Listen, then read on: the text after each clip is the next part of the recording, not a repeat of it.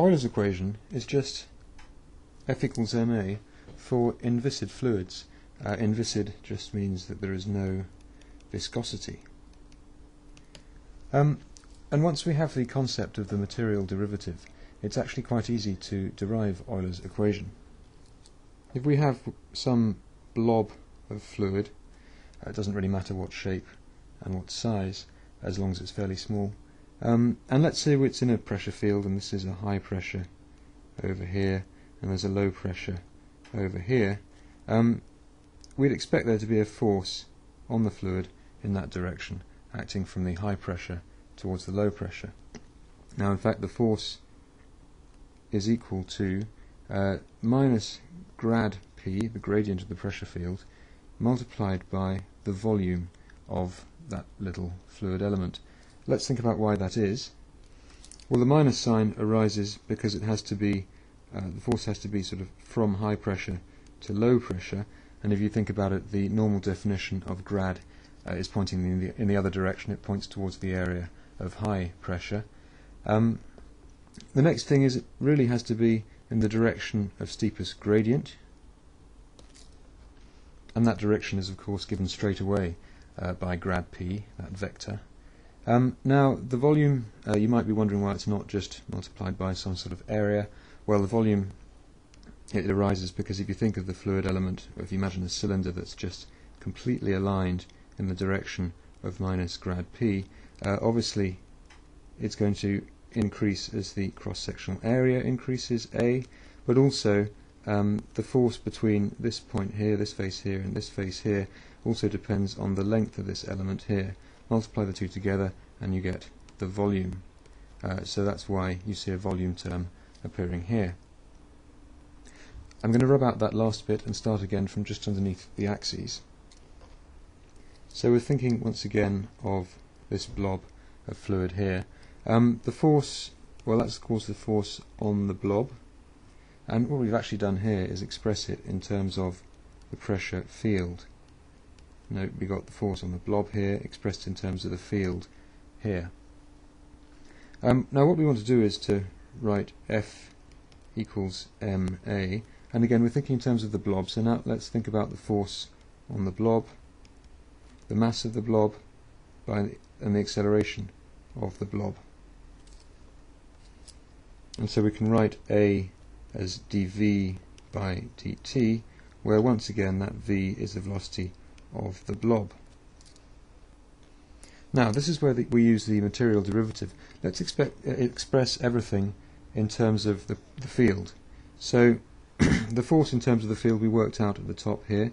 It's minus grad p times the volume of the blob equals the mass of the blob. Now, this will be the density at that point in the field times the volume of the blob. And then the velocity of the blob expressed in terms of the field is simply done with the material derivative dv by dt, where now all the terms in this last equation are expressed in terms of the field properties. Now let's divide through by the volume on both sides.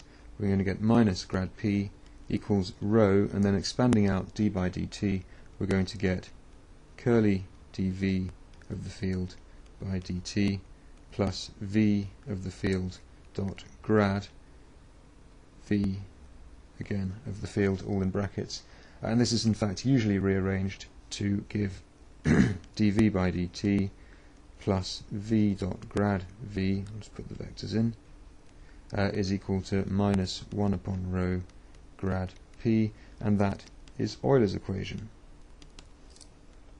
and to recap this is just the acceleration uh, of the fluid blob. This is like 1 over the mass uh, per unit volume, and this here is the force per unit volume. And we can see straight away we just get F equals ma there. We can get quite a lot of physical insight about fluid flow from the process that we've just been through. Um, let's start by looking at a straight streamline. It Doesn't have to be straight, but it's a little bit easier if it is straight for this analysis. Um, and let's imagine a fluid blob at point A uh, moving in that direction, ending up at point B. And let's further on imagine that at point A we have a high pressure, and at point B we have a low pressure. So you can tell that due to the pressure there'll be a force and hence an acceleration uh, from left to right.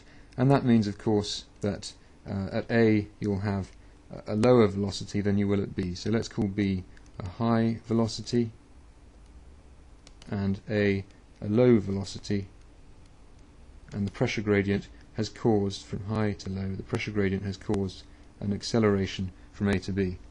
So this gives us the result that sometimes seems a bit strange when we start fluids, that things with high pressure uh, correspond to low velocity, and then a high velocity corresponds to a low pressure. You can see that arising very naturally um, just out of F equals ma. It's, uh, it's quite easy to see when you look at it like this. Um, also now if you would actually integrate uh, the force times the distance from A to B, then you get Bernoulli's equation. And it's interesting to see that Bernoulli is just a sort of integrated Euler equation. Um, of course, when you integrate a force over a distance, you get an energy, so you can also think of Bernoulli as a sort of energy equation. It's um, an equation for mechanical energy. Um, its nearest equivalent, when you add compressibility, is the steady flow energy equation. And another interesting thing to point out is that if you have a curved streamline like that, let's think of a blob moving along a curved streamline, well, because its motion is curving, we know there must be an acceleration in that direction, so again you can tell straight away that you must have on this side of the streamline a high pressure, on this side of the streamline a low pressure. So you can relate uh, streamline curvature to a pressure gradient in the cross stream direction.